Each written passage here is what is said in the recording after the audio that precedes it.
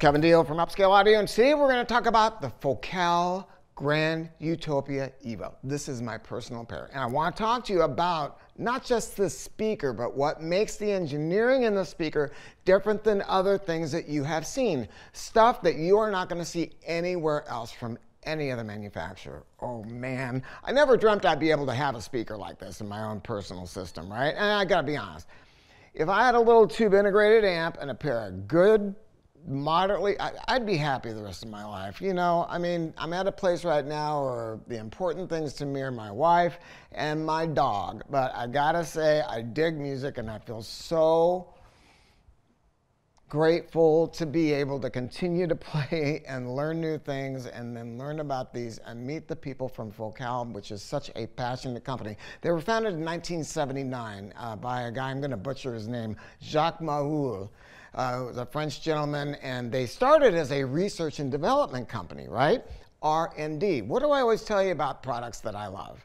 What do I tell you? I always talk about skip the bullshit, the magic boxes, the things where there's so much fluff in high-end audio, parts and engineering, parts and engineering. And that's what these people have been about, along with passion, because I have met them and they are incredibly passionate about the products that they build. So, you know, there are speaker companies today that are, these are not inexpensive, right? As of the time of making this video, these are about $279,000 a pair. And I will say that they are a $279,000 bargain right? That should light up the, uh, the comments section of this video.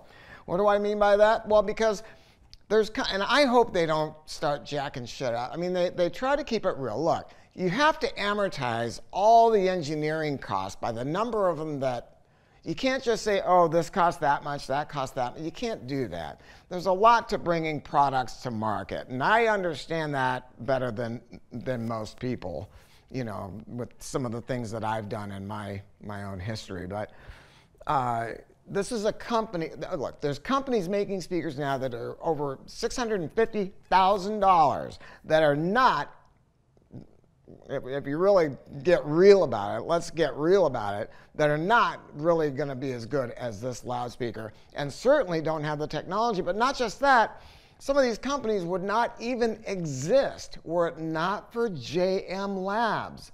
That's who Focal was back then. JM Labs was making speakers for other manufacturers and making them rich.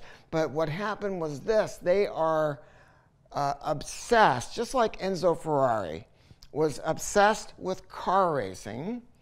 Focal and their and JM Labs at the beginning, they were obsessed with coming up with new technologies and doing things that had never, ever been done before, at least not the way that they do.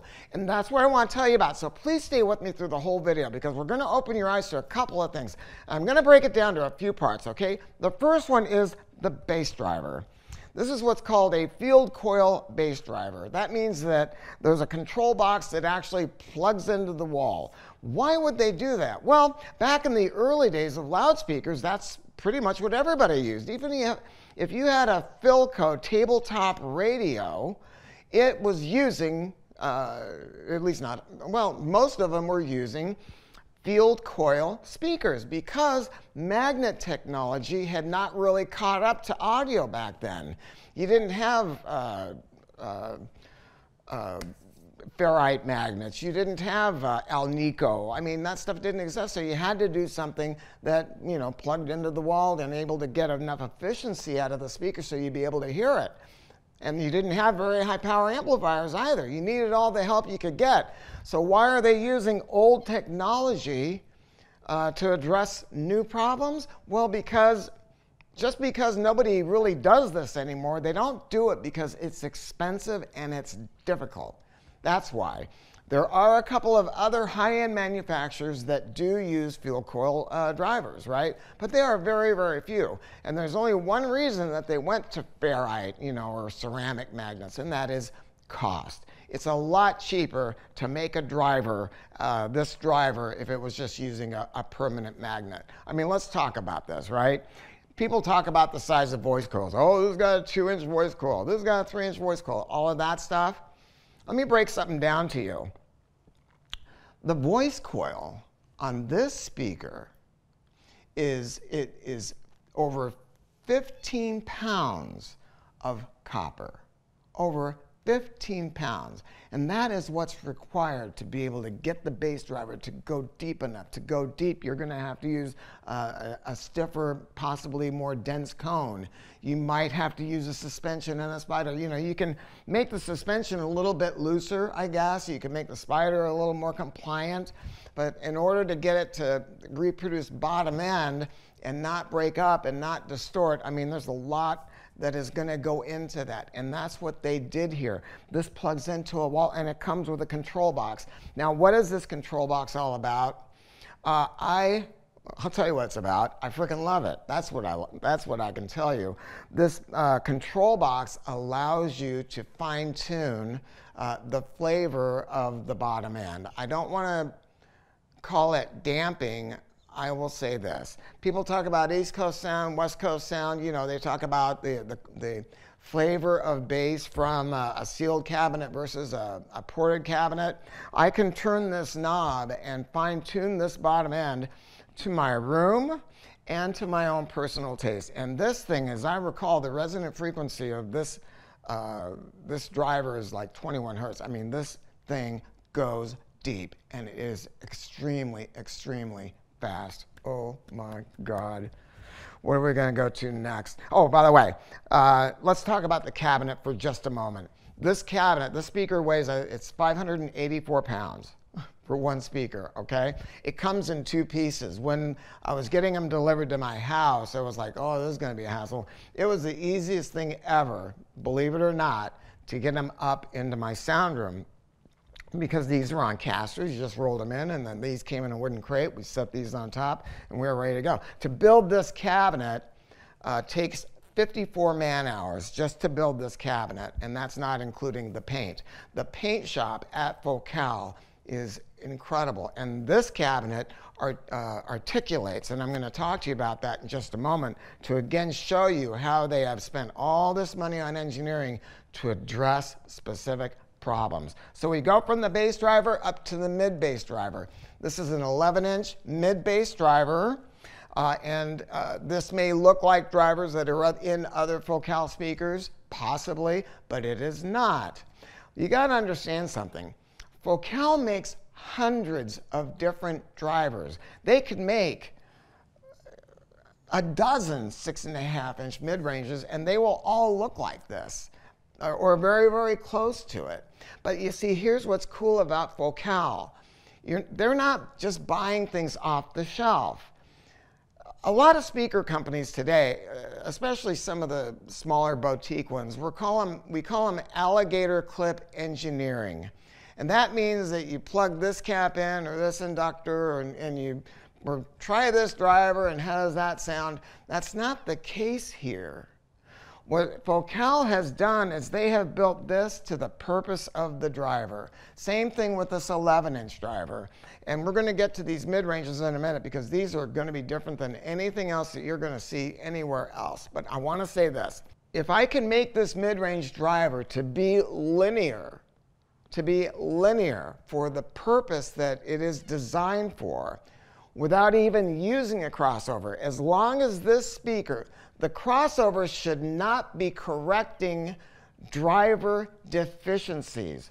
A crossover should be a filter. So this driver operates from, it cuts off the top here and the bottom here. So the driver is operating in here. But it should not be covering up for problems that this driver has. And that is unfortunately the case with so many speakers. So let's talk about these mid-range drivers. These are six and a half inch drivers. It uses their, uh, their W-cone technology. But what's cool about them is two things. Number one, they have what's called tuned mass damping. I want you to go to Wikipedia when you get a chance, and I want you to look up and see what tuned mass damping really means. It has been used for years in the building of skyscrapers, and there's some great pictures that you can see there. And the idea is to control resonances uh, to keep the uh, building from, frankly, disintegrating or just failing, right?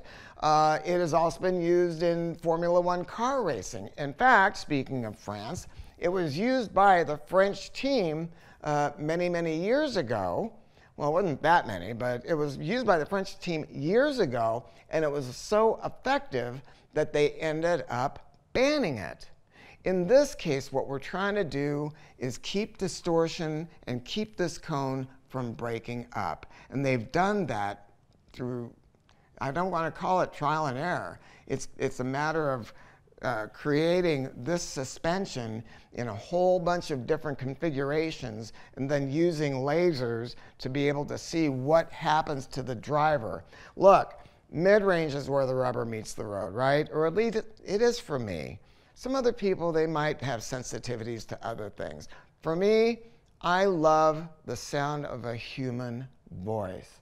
I dig listening to uh, Jim Morrison. I love, uh, oh my God, why is my brain failing right now? The guy that did Hallelujah, um, cameraman, we were just talking about him. Anyway, doesn't matter. You know what I'm talking about because everybody knows who I'm speaking of. That is the kind of stuff, when I hear that, um, uh, when he did Famous Blue Raincoat, uh, Leonard Cohen, Leonard Cohen, when Leonard Cohen did Famous Blue Raincoat, and you hear him singing, and then he's talking about the pain of his wife, and you hear these female voices coming in like ghosts from the side. You've got to listen to that song done by Leonard Cohen. It is epic and scary. And when it's done right with a speaker like this, it, it, it brings me to tears. I mean, it really, really can bring me to tears, and I'm very sensitive to getting this done right. Now, let's talk about the magnet structure. I'm going to show you a picture of this of the back of this speaker. This is Focal's unique design, and they call it Power Flower. By using six magnets that are uh, double stacked and surrounding the voice coil, they're able to uh, have much greater control, again, and greater dissipation of heat, which can help this uh, speaker to handle high power, you know, when you, when you want to play things loud. You know, but the, really the beauty of this speaker, and especially with this bass driver, is the ability to play music at a lower level, but still have it sound uh, really amazing. I'm not, I kind of got a way of listening to music super loud anymore. Uh, I want to protect my hearing and I want to be able to hear the music at lower listening levels. Now, what about that mid range and what about the tweeter? We're going to talk about that in a moment. I want to tell you about the uh, articulating cabinet here and what that is all about. This is the high frequency driver, and it is beryllium. And that, you know, the very, very first beryllium speaker that was made commercially was the Yamaha NS1000M. I used to sell those back in the day. I'm that old. Uh, uh, we loved them back then just because they look cooler than shit. If I were to be honest about it, I think it was just fine for using it for the tweeters. The dome mid-range that they made, uh, kind of bugged me just a, a, little bit, I guess, if, if I'm going to be honest with you. But still, I mean, they're, they're a cool speaker. It's so funny because I was studying up and thinking about this speaker. Then I started thinking about the Yamaha, and I was thinking, you know what, I should buy a pair of NS1000Ms. I'll find a pair of mint ones, but I'm never going to use them. I'll never listen to them. They'll end up going up in my collection of stuff up in the rafters. So now, uh, you know, the fact is speakers have gotten so much better with time. So this is a beryllium high frequency driver. There's a lot of patents in this speaker and this is also got two patents. One of them is the, uh, the M shaped dome, which uh, it's an inverted dome, but it's a very, very specific shape which came from a lot of engineering. I mean, when I was there at the factory, they showed me how they use lasers and their different measuring equipments. So they could come up with the perfect shape, and this driver does not break up, especially when it's under duress. The other thing is you want to make sure that you have an equal amount of energy going to everybody's seat. And that is a big deal. As you go from bass on up to high frequencies, the radiation pattern is going to become narrower and narrower. So you got to come up with some very, very trick high frequency drivers to address that. But the fact is this beryllium is, for a high frequency driver is absolute magic. I want to show you something. I bought these. This is a uh, beryllium tuning fork. This is titanium, which I think a lot of people, I mean, and titanium is fine. A lot of people use it. It's fine. It's a fine way to go. But you cannot compare the two things. This is so much stiffer, so much stiffer, so you can make it so much thinner.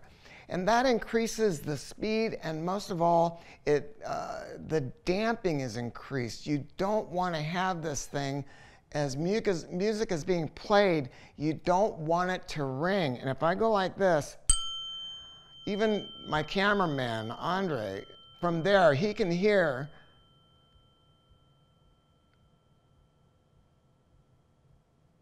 the beryllium, it just died off. And this is going to keep on going and going and going and going. I love beryllium. But what they have also done is they've created a new design called infinite acoustic loading. And what that is about is, again, lowering the resonant frequency of this high frequency driver by controlling the amount of back pressure to the back as well as to the front. And that is a really, really, really big deal because the suspension for this high frequency driver is Poron. So literally, it does have some excursion to it. What they're trying to do is cross this thing over lower and lower so it can meet the mid-range drivers, and then your brain's going to be less confused. The whole thing about speakers and the whole thing about mid-range and why it's so difficult is making sure that you don't go, that's the tweeter there and that's the mid-range there. You don't want that. You want to try to create a single point source if you can, or get as close to it as you can, and we're going to talk about that next. Uh, but I got to say something. This tweeter is amazing. they take a long time to break in, hundreds of hours. And you guys that don't believe in break-in, let me explain something to you. They go, my speakers didn't change after hundreds of hours. They did change. I have the ability to compare a brand new speaker to one that's broken in. Anybody who has gained weight knows that you didn't see it coming on. It just happened, right, over a period of time. It's the same thing here. Trust me. Make sure that you break your speakers in and then make sure that you position them. If, if you can't do those two things, you're wasting your money. Just go buy a Bose table radio or something, okay? All right, now let's talk about this cabinet. Some of the worst speakers that I've ever heard in my life are great, big, expensive ones. Here, I'll just say it, okay? I'm talking about a certain brand that, I don't know if I should name their name. they were crazy.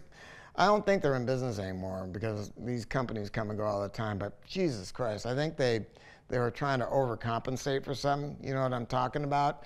And the speaker had it was just a stack of tweeters and a stack.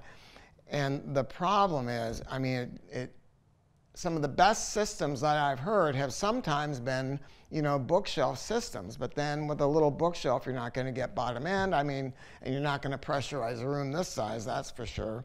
But the thing is, a, a bookshelf system, because of its simplicity, and because you're not fighting with the, the idea of having a big cabinet, I mean, they can do some magical things in the way that they disappear. And that's what Focal wanted to do with this cabinet design. Oh my God, I put the, uh, hang on a second. This is a crank that is uh, that each speaker comes with. You place it into the back, and I can't show this to you on uh, the video right now. Maybe we'll get you a B-roll of it, and then people are going to be able to see that you are able to fine-tune the position of the upper portion of the speaker.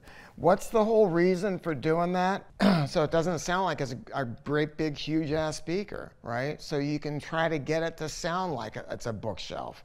Uh, so you're, I, I'm going to tell you something. When I fine tune these to my listening position, I, I, it was just an eye opening experience to see how helpful this is in making this speaker give me a solid image where I was getting a human voice, a human voice, dead center with all the fill in without it sounding like Rickie Lee Jones is a 12 foot tall monster, right? I mean, it sounds like Lyle Lovett. Boom, right there, right? I mean, it sounded like Jim Morrison, the Lizard King boom, right there. And it happens from fine tuning this. This room that I have here is ridiculous. Look at these dormers up here, right? But there's nothing I can do about having them here. I can't take out uh, an iron beam, you know, but the thing is, it works great in this room. It works great in this room. I'm having an amazing experience with this loudspeaker. Now I want to talk about one more thing, and that is the back of the cabinet and something that's called OPC Plus. All right, you have the control for the bass driver. That's really important for, I think I would call it controlling the pitch of the bass as much as anything else, okay?